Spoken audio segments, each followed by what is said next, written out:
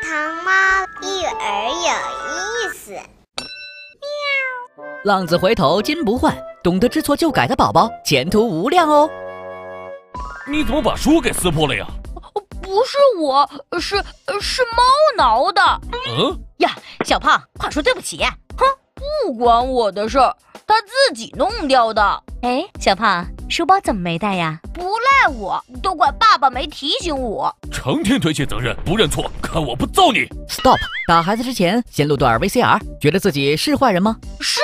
住嘴！我当然不是，我可是个有原则的好爸爸。看吧，大多数人在心里都认为自己不是坏人。那么，好爸爸，你天天打孩子，这样对吗？呃，这呃，打是亲，骂是爱嘛。谁叫他不认错？我这也是为了他好。看，即使大人偶尔有小邪恶的行为，也会为自己找借口，或者不自觉地把责任推给别人。这种现象在心理学上就叫做为自我宽恕效应。不认错是人类的本能呀。本能？当然，除了本能，孩子不认错还有其他原因。打得太轻？No，恰恰相反，孩子逃避责任很重要的一个原因是从小太过严厉的管教方式，害怕承担挨打挨骂的后果。会让孩子本能的逃避责任，不认错。只有小的时候学会为自己负责，长大以后才能对家庭和事业负责哦。让孩子学会勇于承担责任，刻不容缓呀。那那到底咋办？Number one，孩子犯错时，大人别冲动。孩子犯错以后，首先内心是充满自责的，是需要理解和关爱的。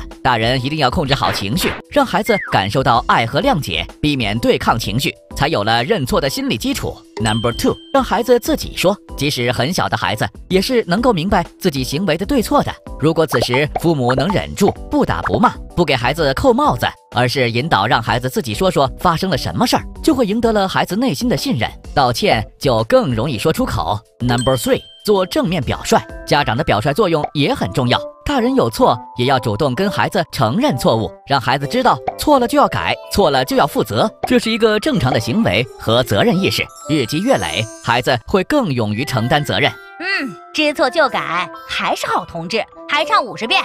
我不该忘刷碗，我不该忘刷碗。嗯，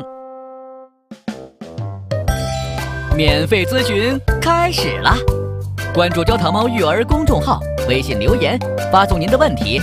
育儿专家一对一在线为您免费解答，问问题看漫画，快快找我吧。